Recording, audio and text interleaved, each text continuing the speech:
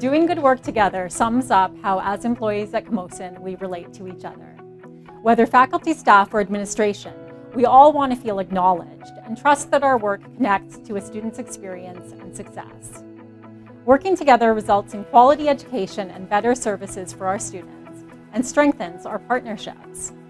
Doing good work together ultimately makes Camosun a great place to work. Through engagement activities, employees talked about the importance of talent attraction, retention, professional development, employee recognition.